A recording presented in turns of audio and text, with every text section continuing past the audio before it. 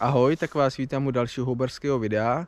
Tentokrát jsem se vydal kousek za Turnov, kde by měl být vlastně vápencový a jílovitý podklad. Měly by tady být hlavně smrky, ale snad i nějaký listnáče. Já jsem tady trošku na začátku byl, něco se tady dá najít, tak uvidíme, jestli se něco poštěstí. A jestli taky tady bylo jiný stromy, říkám, ještě jsem tady vůbec nebyl, takže nevím, ale samozřejmě vzhledem k tomu, že tady je vápen, nebo měl by být vápencový podklad, tak by tady možná mohly růst i nějaký zajímavější nálezy, tak uvidíme, jestli se něco poštěstí nebo ne. A samozřejmě smrky na vápenci, to vypadá celkem zajímavě. Tak se tady podíváme a uvidíme, co tady najdeme. No a teďka nám tady začíná růst, nebo roste nám tady opeňka měnlivá, což je jedlá houba. Když jsem si tady vytrhnul trsík, tak si pojďme ukázat a ukážem si, jak tady tu jedlou houbu poznat. Tak ukážem si detail klobouku, tady vidíte, že ten klobouk může být až takhle do oranžova, někdy může mít i ty okraje klobouku bílý.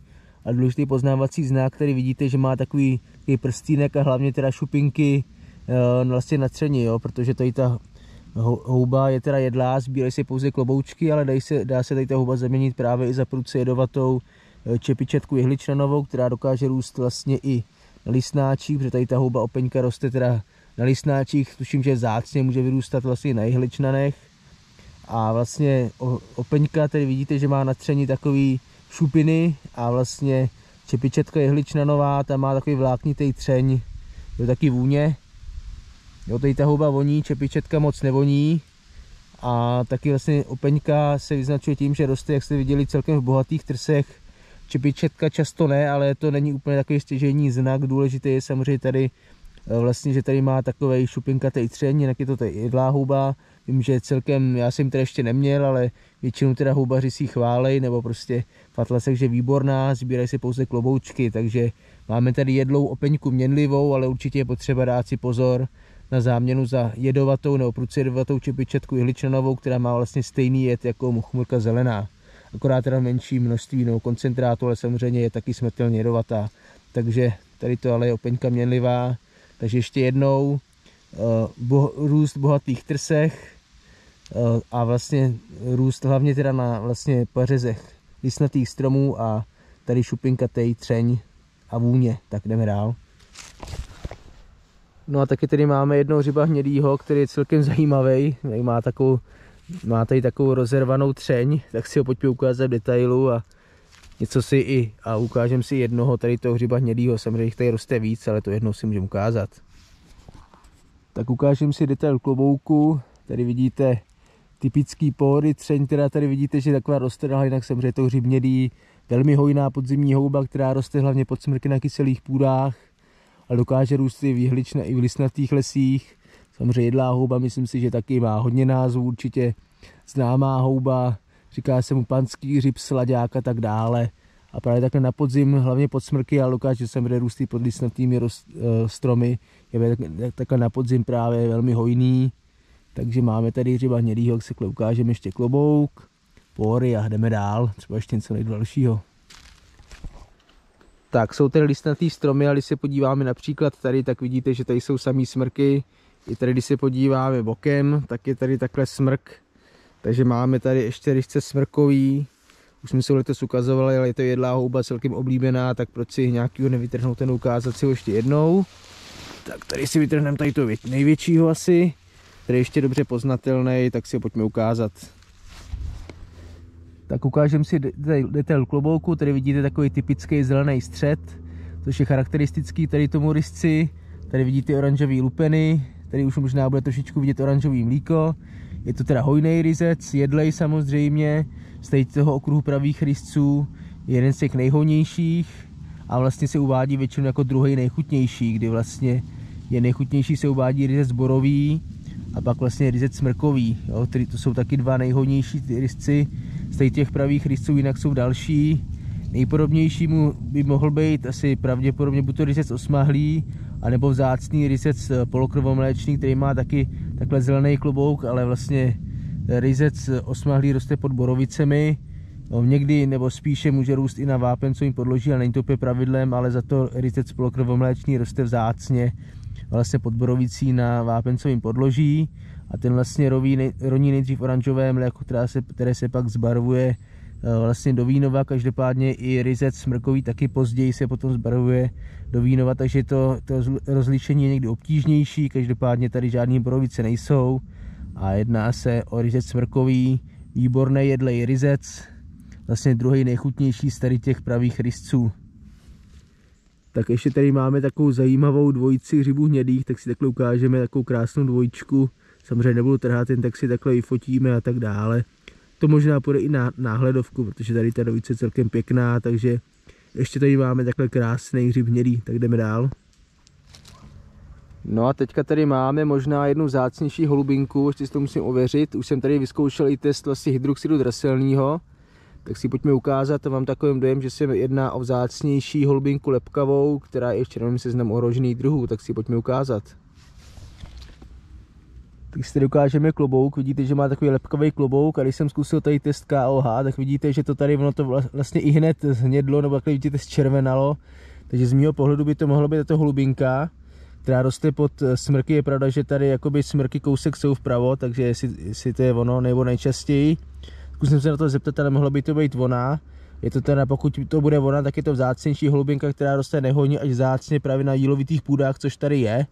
Takže by to mohla být tato holubinka, která je ještě jeden seznam ohrožených druhů, jako vlastně téměř ohrožený druh. Zkoušel jsem ještě pálivostné vlastně euteritý a jiný holubinky, která tady rostla a trošku pálila lupenech, takže to by taky mohla povídat. A i vlastně tady, vlastně tady ta reakce, která vlastně i hned, hned takhle vlastně zčervenala nebo znědla. Takže z mého pohledu by to mohla být teda vzácnější holubinka lepkavá, což by se mi líbilo, která je v červeném seznamu ohrožených druhů jako téměř ohrožený druh, takže to, bylo, to byla paráda. Tak uvidíme, jestli to bude ona nebo ne. No a teďka tady máme klasickou babku hřib žlutomasí, tak si ho pojďme ukázat. Taky jednou, ať si můžeme ukázat rozdíl mezi hřibem žlutomasím a vlastně co jsme našli třeba i minulé hřibem sametovým. Tak, ukážeme si detail klobouku, tady vidíte rozpraskaný klobouk. Tady si ukážeme pory, ku podivu tato huba ještě není napadená nedoubem zlatový má tady eh, klasický takový červený třeň. Je to samozřejmě klasická babka, nebo s velkou pravděpodobností. Jako odlišit od hřiba sametového eh, je tak, že vlastně hřib sametový většinou dorůstá velkých rozměrů, větších rozměrů.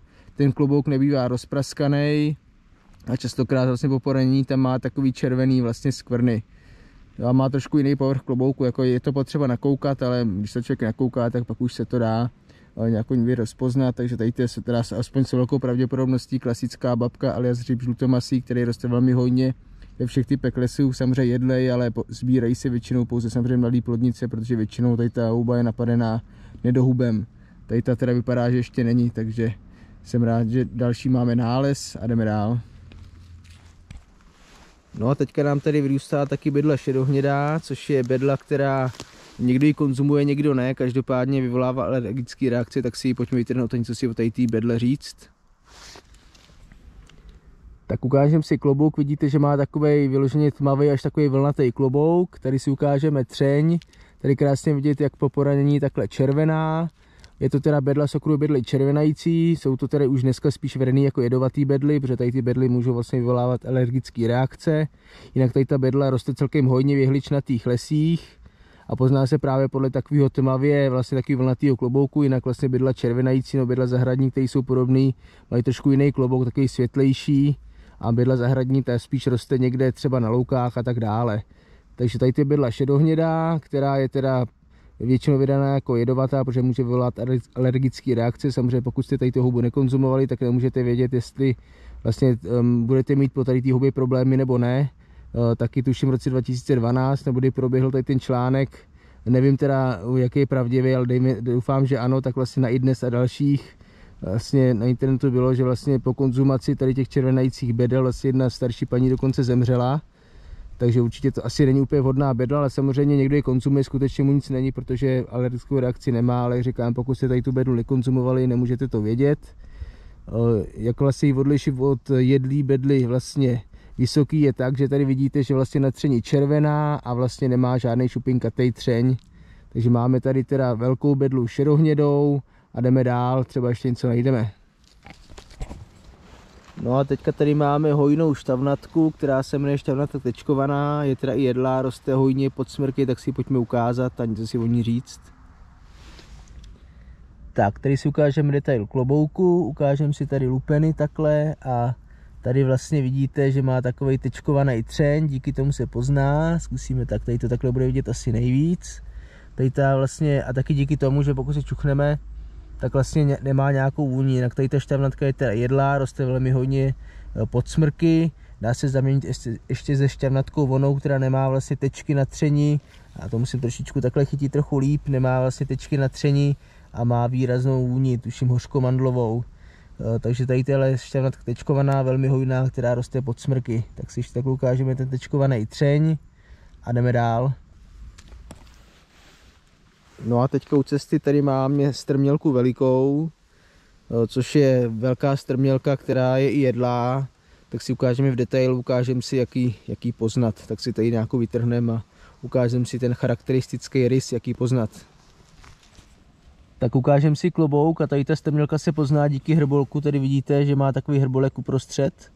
Díky tomu se pozná, je to teda, většinou se uvádí jako jedlá houba nižší kvality, já jsem tady ještě nenašel, roste takhle ve světlých místech, které vidíte, že jak listnatých, tak tuším i hličnatých lesích, tady rostla u cesty, je to teda jedlá houba nižší kvality, ale vidíte, že dokáže dorůstat značných rozměrů, takže máme tady strmělku velikou, jedlu houbu, která dorůstá značných rozměrů. Ještě tady ukážeme lupeny takhle a jdeme dál. Tak to je konec dnešního videa. Toto video bohužel natáčím na sídlišti, protože tam mi došla baterie. Co se týče teda potvrzení holubi, holubinky lepkavé, moje kolekcí poradně skutečně vypadá, že to je ono, že mi to tam potvrdili, takže samozřejmě nález určitě potěšil.